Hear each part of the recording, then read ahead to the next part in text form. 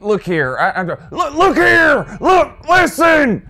Uh, I, I'm not going to spend as much time talking about the South Carolina Gamecocks roster and, and who they lost and who they have as I have on some of these other teams because there's just no point. And, and these are not trash talking videos, but there's just no point in spending that much time uh, on South Carolina like I have some of these other teams. And when we put the schedule up on the screen and go through it, you'll see why. But in today's video, we got the South Carolina Gamecocks coming up. Best case, worst case for the 2019 season. Uh,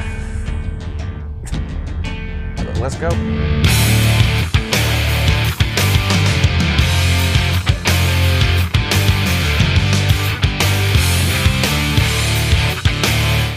Good morning, it's Uncle Lou here. Yeah, that's right, it's me, Uncle Lou, and I'm live for you on YouTube today, so thanks for watching. I really appreciate it also. And two, in addition to all that as well, yeah, means a lot to me. Subscribe to the channel if you're not already. I post college football videos almost every single day of the year, and sometimes they're even watchable. Yes, I'm a Georgia Bulldogs fan, uh, but I do really two different types of videos here. I, I do some trash talking videos, yes, where I'm a huge Georgia homer and just bash other teams nonstop. Uh, but about the half, about half the videos are, are, are straight down the middle, and these best case, worst case videos are those types of, of videos. So this isn't coming from a biased Georgia fan perspective. This is my honest analysis of the uh, South Carolina Gamecocks' chances during the regular season in the, in the 2019 season. Um, coming up, give this video a thumbs up if you're a, a Carolina fan or just excited about the 2019 season. I would really appreciate it, and it helps me out a lot. Live show tonight at 10 p.m. Eastern. We do the live show every Tuesday and Thursday night at 10 p.m. during the off season.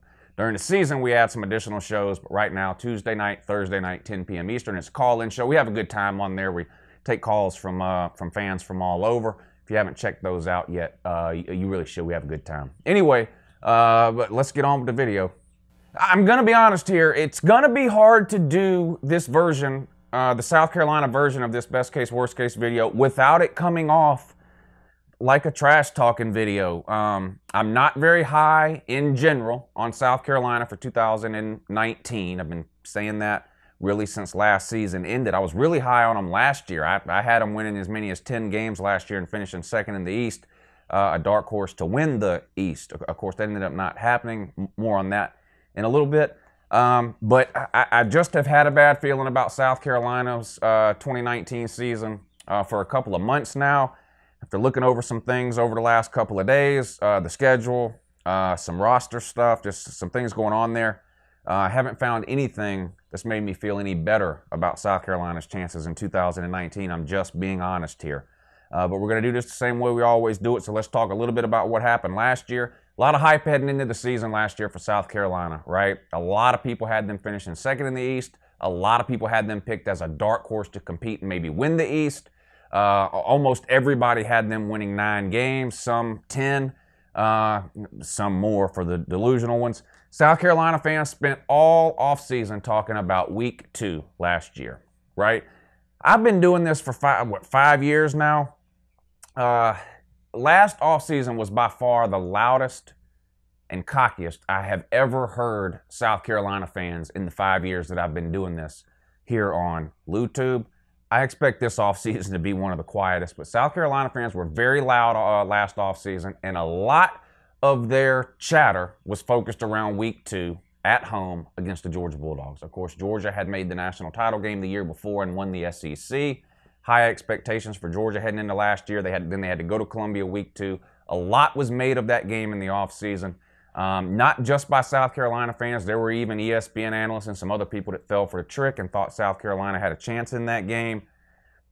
I, I honestly believe South Carolina felt they had a chance in that game. And of course, we all know by now how that game went. You came out and you sort of, you never really had a chance in that game. Uh, it got away from you in the second half and ended up being not close at all. Um, sort of a disappointing home loss to kind of start your season there in week two. And I think that just took all the steam out of South Carolina for the 2018 season, and they sort of coasted uh, downhill the rest of the season after that. You finished seven and six, uh, seven and seven and five in the regular season. Lost your uh, bowl game in humiliating fashion, blown out in the Belk Bowl, 28 to nothing. A complete no-show there. Uh, of course, we mentioned losing to UGA in week two. You lost to Kentucky for what the fourth or fifth year in a row. Uh, you lost to Texas A&M. You've still never beat them uh, since they've joined the SEC. I don't believe, and, and you play them every year. Uh, that's your cross division um, rivalry, and you've yet to beat them. I, I, believe they beat you again. You lost Florida. Uh, you sort of had Florida. They came back on you. That was an interesting game, but you lost it. And then, of course, Clemson just absolutely steamrolled you. Um, but uh, yes, we have heard you over the last three months talking about the fact that you threw for 600 yards on them. Congratulations. You still got blown out. Not a good year. Uh, seven and six. Now you made a bowl game for the for the third year in a row under Will Muschamp, which is good. But based off the expectations you had you had heading into 2018, this was a horrible season. Um, all right, so what's it going to look like this year? Well, you got Jake Bentley back again. Uh, this guy's the South Carolina version of JT Barrett, ain't he? Not any good and won't go away. Uh, the Brett Favre of college football minus the upside. Brett Favre is the all-time leader in the NFL in interceptions. Uh, Hall of Famer though, because he threw a ton of touchdown passes. Won, won a Super Bowl. Jake Bentley's got the interceptions down, but that's it, right? Uh, Jake Bentley's never seen a receiver that was too covered to throw the ball to. This guy thinks he can make all the throws. He just he just can't. He hasn't gotten any better, in my opinion, since the day he stepped foot on campus. Is that Jake Bentley's fault? Is it Will Muschamp's fault? Is it the offensive coordinator, the quarterback coach's fault? Uh, that's for you guys to argue and debate in the comments section. But to me, he looks exactly the same as the day he stepped foot on campus, um, which isn't what you want. Who's his backup? It doesn't really matter. You, guys are going to go with Bentley again. I mean, he's been there this long, going into his fourth year as the starter now. He's not going to get benched barring injury. Uh, but I mean, who are the backups? Joyner and Hilinski, Jay Urich. No one's ever heard of these people. Uh, Hilinski and Joyner, I, I, guess, do have some upside, but they're young guys. One of them, I believe, is a sophomore or a redshirt freshman, or maybe a redshirt sophomore. Hilinski, true freshman. We'll see. Joyner likes to run around. I think Hilinski. I mean, we'll see. I don't really think either one of those two guys are ready right now to lead an SEC offense. Um, the ball is pretty much in Bentley's court this season, in my opinion. Running back, uh, you don't have any. Again, a theme since Will Muschamp got there. South Carolina has had a hard time finding a consistent, good running back under Will Muschamp at South Carolina. They've, they've yet to have one. I, I don't think they've had a thousand yard rusher under Will Muschamp, and just haven't been good overall at the running back uh, at the running back position. Who's there? Rico Dowdle. Uh, who is that? No one knows. Uh, AJ Turner. I mean, this guy's. You know, I, I mean, these these these aren't these just aren't SEC level running backs. Now you got some young guys. Who are these people here? Fenwick and Valentine. What? I mean, this sounds like the modern day Siegfried and Roy. Fenwick and Valentine. We. Uh, what's this uh, uh, freshman you got coming in? Is it Kevin Harris, Keon Harris, something like that? He may be something down the road, but again, it's the situation where I don't think that guy is ready to come in year one uh, and be the go-to guy in an F- SEC offense. I think you're going to have another year this year where you just have below average play from the running back position. It just doesn't look good. You lose your left tackle. You're going to move last year's right guard over to left tackle. You also have an incoming freshman, I think, that may get a look at left tackle. But, um, you know, offensive line, it may be a strong suit. Not that I think it's elite, uh, but I, am not high on your quarterback position. I'm not high on your running back position. You lost one of the best receivers you've ever had in school history in Deebo Samuel last year. Now, I do like his number two, Bryan Edwards. The thing is, Bryan Edwards got a lot of catches, uh, yards, and touchdowns because teams were so focused on Deebo Samuel. That's not to say that Bryan Edwards isn't any good and can't be um, a, a, true number one receiver for you guys this year. But you have to you, you have to look at reality here. Uh, you, you see this a lot. Number two wide receivers look a lot better when there's an elite number one on the other side that's drawing a lot of attention from defenses. The Georgia game is a great example. We shut Deebo Samuel down. Uh, he might as well not even have played. Bryan Edwards went up for over 100 yards receiving, I think, against Georgia.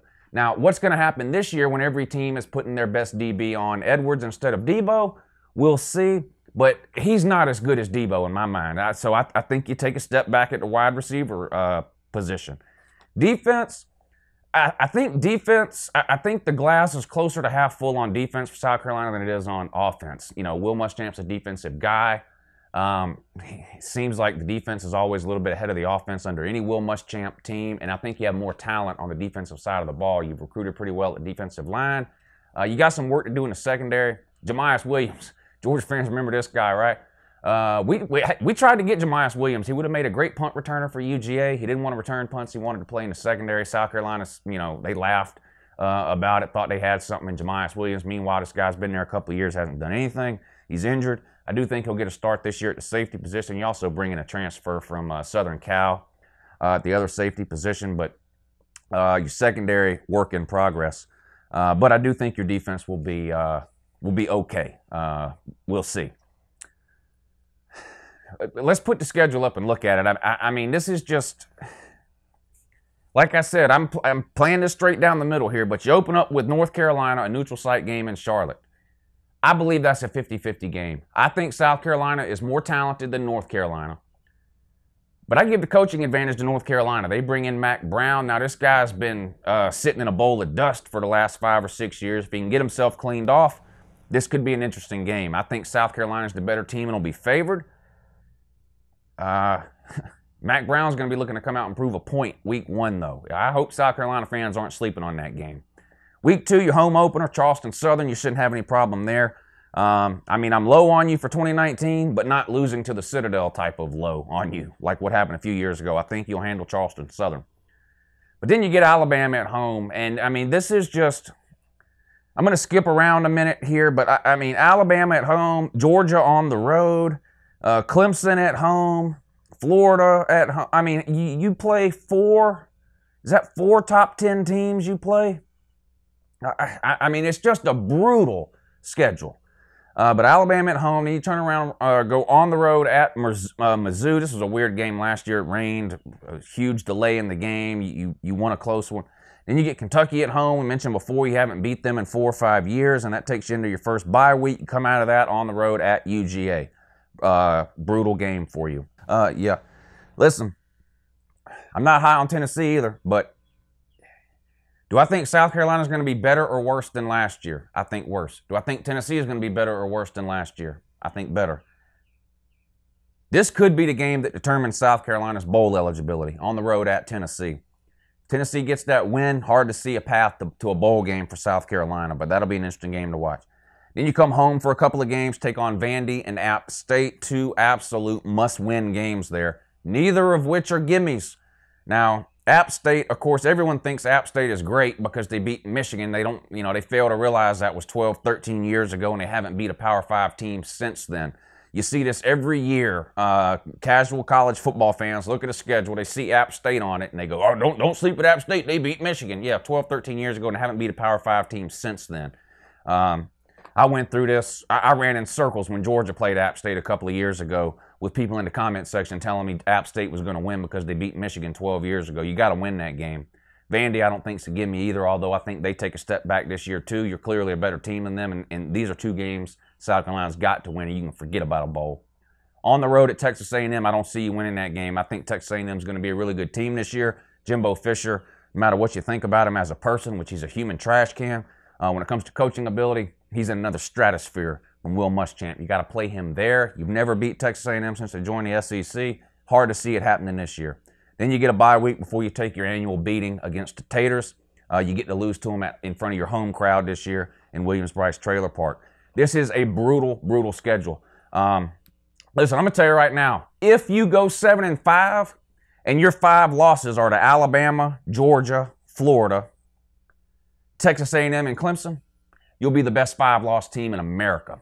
Uh, you could potentially be a top 25 team if you go 7 and 5. You wouldn't be ranked in the top 25 because of the five losses, but you could be one of the best 25 teams in America and be 7 and 5 if those were your only five losses. Hard to imagine that being the case though. I, even if even if you're better than the other 7 teams on the schedule, Will Muschamp's not a good enough head coach to run through all seven of those teams. You would drop at least one more. I think the best case scenario here for South Carolina, brutally honest here, I think the best case scenario in 2019 for South Carolina is six and six and keep your bowl streak alive. I can't see you winning any more than six games. I, I, I, I can't see a way you beat Alabama, Georgia, or Clemson. 100% no way. I don't see any chance at all. I don't think you're going to beat Florida or Texas A&M either. That puts you at five losses. And like I said, I, I don't think Muschamp is good enough to run through the rest of those seven games, even if South Carolina is the better team. And that means you got to beat uh, Tennessee. You got to beat Kentucky. You got to beat Mizzou. You got to beat Vandy. You got to beat North Carolina. You got to beat App State. I don't think you're beating all those teams. I'm going to say six and six is the absolute best case scenario. And if things go sideways and you lose a couple of these iffy 50 50 type games, three and nine. Uh, this could be a really, really bad year for South Carolina. My only question mark, really, about South Carolina when it gets down to the end of this season is if it does go bad and you end up with three or four wins, would that be enough for you guys to pull the trigger and get rid of Will Muschamp? I don't think it would. He's made three straight bowl games. I think he could go three and nine this year. I think you guys would still bring him back uh, for the following year. I do not think Will Muschamp will get fired this year. I know last year, towards the end of the season, a lot of South Carolina fans were sort of on the fence about Will Muschamp. I think South Carolina's going to ride it out with him. And, and, you just have to ask yourself at this point who's willing to come there. Well, you got to start looking at ex Florida coaches, right? Because you tried Spurrier, that didn't work out. Uh, you, now you're trying uh, Muschamp, who came, who used to be at Florida. That didn't work. Is McElwain available? Would that be your next choice? I don't know. Best case scenario, six and six. I'm sorry, I don't see a way you win more than that. Things go wrong, three and nine. Have a great morning.